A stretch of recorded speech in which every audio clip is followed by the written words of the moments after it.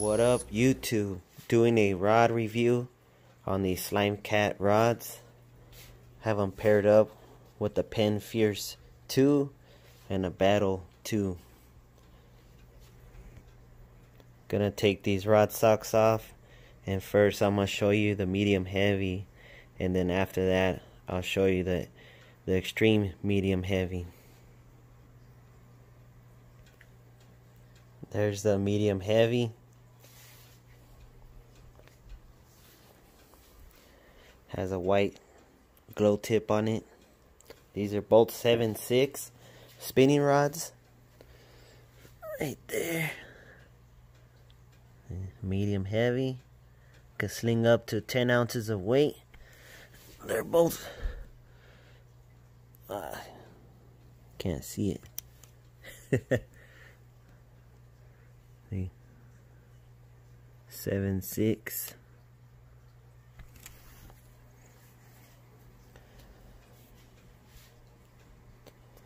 The action is crazy on them.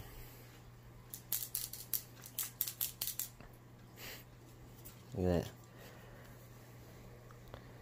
Aluminum reel seat. Very nice rods. Next one, the extreme medium heavy. There's the extreme medium heavy. Same thing, glow tip on it. There's the F1 there. X medium heavy 7.6. This one slings up 2 ounces to 15 ounces. Well, the medium does 1 to 10.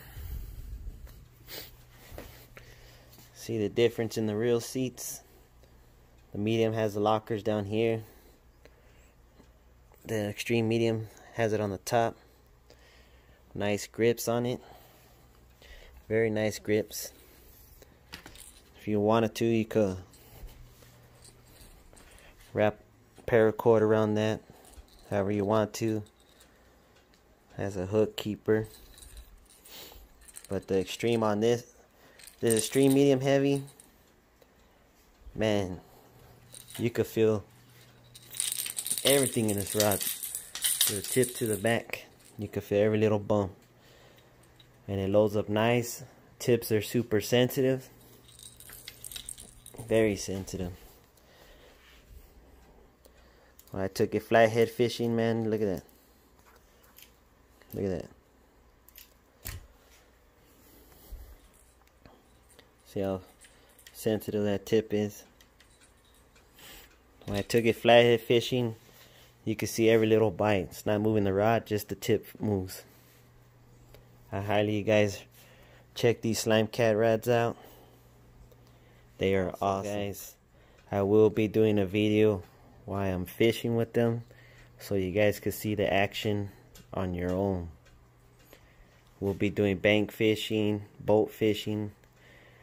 Man, oh, look at that stainless steel guides.